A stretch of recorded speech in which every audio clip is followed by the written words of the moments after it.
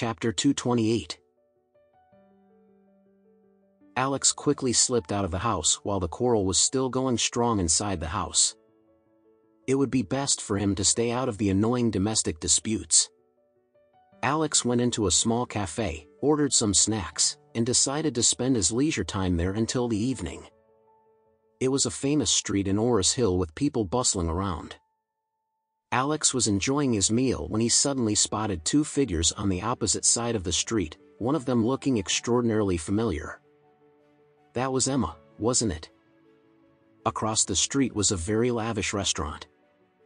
Alex saw Emma sitting by the huge window on the third floor, and opposite her was a middle-aged man in a suit and leather shoes wearing gold-framed glasses. Emma was holding a folder and talking to the man non-stop as if she was showing her portfolio and her new role as a freelance designer and hoped that the man would invest in her new establishment. Despite her enthusiasm, the man didn't seem to pay any attention to her speech. He even attempted to touch Emma's hand by taking the folder from her which she quickly pulled away before he succeeded. Alex's blood was boiling upon witnessing this ridiculous scene. That bastard, how dare he try to sexually assault his wife? Just then, the waiter came over with a plate of chips. Before he could put it down, Alex slammed a $50 note on the table and got to his feet hastily. Keep the change.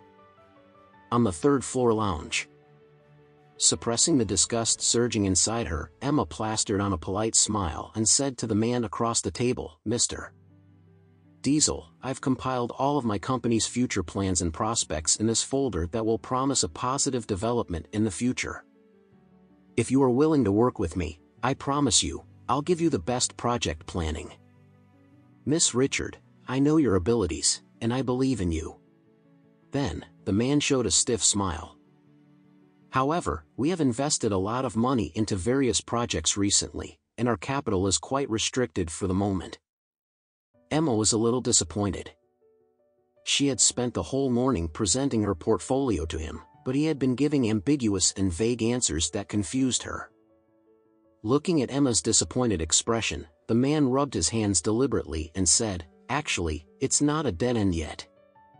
Let me talk to the senior executives first. Frankly speaking, your portfolio looks very interesting. How about we continue the discussion at 9 tonight? I would love to know more about your work. Um, Mr. Diesel, that's quite late. Emma hesitated. It was quite late for them to meet at 9 p.m. Besides, if they went on with the discussion, they might end up talking until midnight. It wouldn't be nice for her reputation as someone's wife. The man smiled. No, it's not. Investment is a big deal. We need to have a deep understanding of each other before we can build mutual trust, am I right? I'll treat you to a nice dinner tonight and we'll continue with the discussion. Come, Miss Richard. Let's shake hands for our future collaboration. The man extended his arm toward Emma's tiny little hand, a faint flirtatious vibe hovering in his eyes. The man's name was Jake Diesel. He had long heard about Emma Richard, the woman who had won the title of Oris Hill's most beautiful lady, but he hadn't had any luck meeting her in the past.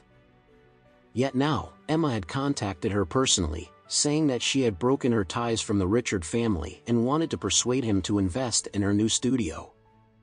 He was over the moon.